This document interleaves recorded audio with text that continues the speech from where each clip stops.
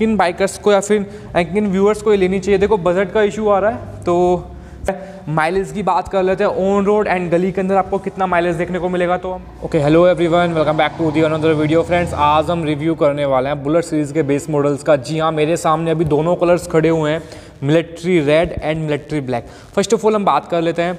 काफ़ी लोग है ना प्लान कर रहे हैं 2024 में कि हम बुलेट सीरीज़ लेते हैं तो कौन सी वाली लें? क्योंकि ये जो सीरीज़ आप देख रहे हो बेस सीरीज़ होने वाली है। साथ में आप देख रहे हो गोल्ड है एंड फिर ब्लैक गोल्ड आपको देखने को मिलती है। बट जो प्राइस को जस्टिफाई करती है, वो ये दोनों कलर्स होने वाले हैं। बात कर लेते हैं बाइक के प्राइस की तो दो लाख चौदह हज़ार रुपये ऑन रोड प्राइस होने वाला है हरियाणा के अंदर। बात करते हैं एक्शोरूम प्राइस की तो one lakh seventy three thousand के समथिंग आपको इसका एक्शोरूम प्राइस देखने को मिल जाता है। लास्ट वीडियो मैंने अभी मिलिट्री ब्लैक के ऊपर बनाया था बट अभी मेरे सामने दोनों कलर्स आ चुके हैं तो आप एग्जैक्टली देख सकते हैं दोनों कलर्स में कितना डिफरेंस आपको देखने को मिलता है। ये जो बाइक है प्रॉपरली ब्लैक है। ब्लैक विद क्रोम के साथ आपको देखने को मिलती है। दोनों बाइक्स में आपको सिंगल डिस्क ऑप्शन देखने को मिलता है। डुअल डिस्क नहीं आता है। काफ़ी लोग कमेंट ना करिए कि हम क्या लगवा सकते हैं डुअल डिस्क नहीं। जी, आप डुअल डिस्क नहीं लगवा सकते बिकॉज़ जो बाइक पीछे सेटअप करके देती है बाइक के अंदर, वही आपको सेटअप यूज़ करना होगा। इंटरनल आप एक्सचेंजेस करवा सकते हैं मॉडिफिकेशन करवा सकते हैं। बट हम बात करते हैं फ्रंट से तो फ्रंट से आप देख सकते हो। आपको वही आपको रेट्रो लुक देखने को मिलता है, बल्कि शोकर्स देखने को मिलता है। फ्रंट में आपको सिंगल डिस्क ब्रेक देखने को मिलता है बाय बाय का एंड पीछे आपको ड्रम ब्रेक देखने को मिल जाता है। इसकी जो सीट है रोल एनफील्ड ने काफ़ी इंप्रूवमेंट कर दिया है सीट के अंदर। पहले जो सीट आया करती थी, वो आप ये कह सकते हो कि थोड़ी टाइट हुआ करती थी अनकंफर्टेबल सीट आपको देखने को मिलती थी बट अब कंपनी ने पूरा सेटअप क्लासिक जैसा कर दिया है। बात कर लेते हैं फ्यूल टैंक कैपेसिटी की तो आपको तेरह लीटर की फ्यूल टैंक कैपेसिटी देखने को मिल जाती है। इंजन में पेट्रोल में आपको अप टू ई ट्वेंटी देखने को मिलती है। एंड जो सेटअप है वो आपको बिल्कुल क्लासिक वाला सेटअप देखने को मिलता है। पीछे से लिटिल बिट चेंज किया है, जी हाँ। 2024 में भी वही मॉडल है जो 2023 में था।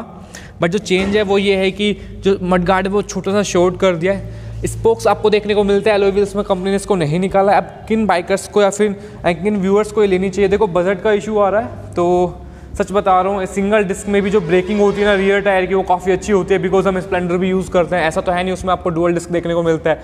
उसमें भी आपको सिंगल डिस्क देखने को मिलता है। बट देखो हैवी इंजन है तो ऐसा नहीं होगा कि आप सिंगल डिस्क यूज़ कर रहे हैं तो कोई आपको इसका प्रॉब्लम देखने को मिलेगा। जी नहीं।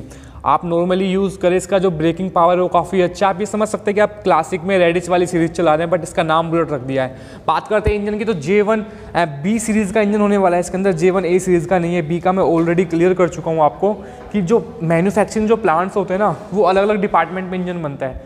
अब जो क्लासिक सीरीज़ के जो इंजन्स हैं, वो डिपार्ट ए में बनता है, जिससे उसका नाम है जे वन ए सीरीज़ रखा गया है एंड बुलेट के जो पार्ट्स है वो बी डिपार्टमेंट में बनते हैं सो दैट्स वाई इस बाइक के जो इंजन का नाम है वो जे वन बी रखा गया है। माइलेज की बात कर लेते हैं ऑन रोड एंड गली के अंदर आपको कितना माइलेज देखने को मिलेगा तो हम बात करते हैं ऑन रोड माइलेज हाईवे पे तो आपको aroundly forty two forty two के समथिंग आपको माइलेज देखने को मिलता है। वहीं हम बात कर लेते हैं इन मार्केट या फिर गली के अंदर तो आपको तीस से पैंतीस के समथिंग आपको एवरेज देखने को मिल जाएगा। काफ़ी लोग माइलेज टेस्ट का भी वीडियो बनाते हैं। आप कमेंट करके बताएँ, अगर आपको माइलेज टेस्ट का वीडियो चाहिए तो मैं आपके लिए ज़रूर लेकर के आऊँगा। पर यार देखो, काफ़ी वीडियोस आपको ऑलरेडी मिल चुके हैं। बाकी जो डिपेंड होता है ना, वो आपको ड्राइविंग कंडीशंस के ऊपर अप्लाई होता है, क्योंकि हर जो पर्सन होता है, उसका चलाने का तरीका अलग होता है। कुछ लोग टाइम टू टाइम आपकी सॉरी कुछ लोग टाइम टू टाइम बाइक की सर्विस कराते हैं ऑयल चेंज करते हैं, जिससे उनकी जो बाइक की जो परफॉर्मेंस है, वो काफ़ी हद तक अच्छी बढ़ के आती है एवरेज भी अच्छा बढ़ के आता है एंड काफ़ी लोग जो बाइक को है ना बिल्कुल ड्राई कंडीशन में चलाते हैं जस्ट लाइक आप ये कह सकते हो कि नॉर्मली पेट्रोल डलाया कोई ऑयल नहीं डलवा रहे, कोई कुछ नहीं डलवा रहा तो जिसकी वजह से जो परफॉर्मेंस है एंड जो एवरेज है, वो भी आपको काफ़ी कम देखने को मिल जाता है। फ्रंट में आपको क्रोम नोच देखने को नहीं मिलता है, आपको जो सोकर्स है, वो काफ़ी बल्कि देखने को मिलता है अभी लास्ट टाइम एक बंदे ने कमेंट किया है कि भैया एवरेज पे क्या फ़र्क पड़ता है? देखो पिकअप पे ज़रूर पिकअप पे काफ़ी फ़र्क पड़ता है हैवी सोकर्स का और एवरेज पे भी पड़ता है। अगर पिकअप पे पड़ेगा तो देखो बाइक थोड़ा दब के चलेगी। इंस्टेंट पिकअप नहीं मिल पाता है क्योंकि हैवी सोकर्स जहाँ होते हैं वो इंस्टेंट पिकअप नहीं मिल पाता है क्योंकि इस बाइक का जो तीन साल से जो टोर्क है, वो सेम टोर्क पे है। कोई टोर्क में कोई इंप्रूवमेंट नहीं किया है।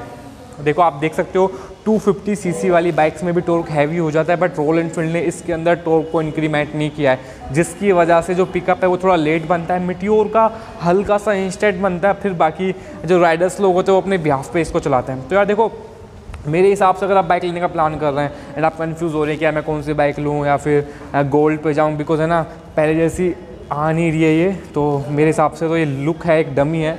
बाकी जो इसका इंजन है वो जेवन बी का हो चुका है। इसको ना लेकर के मेरे हिसाब से तो आपको इसको लेना चाहिए। अगर आपको कंपेरिजन वीडियो चाहिए इन दोनों के बीच में तो आप कमेंट करें, मैं आपके लिए लेकर आऊँगा। तो आपको वीडियो अच्छी लगे तो प्लीज़ वीडियो को ज़रूर लाइक करना। चैनल पर पहली बार चैनल को सब्सक्राइब करना मत भूलना। सो मिलेंगे नदर वीडियो में। जब तक के लिए bye bye take and love you all